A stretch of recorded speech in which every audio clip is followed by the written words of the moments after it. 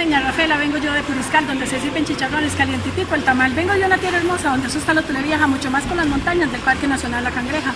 Ahí asusta un bicho malo que se llama el cadejo, se asusta a los de cerca, también a los de lejos, asusta a los costarricenses, también asusta a los gringos, mucho más a los conejos que les gusta levantar chingos, les gusta levantar chingos, ponga usted mucha atención, dicen que a sus conejos no les gusta pagar pensión.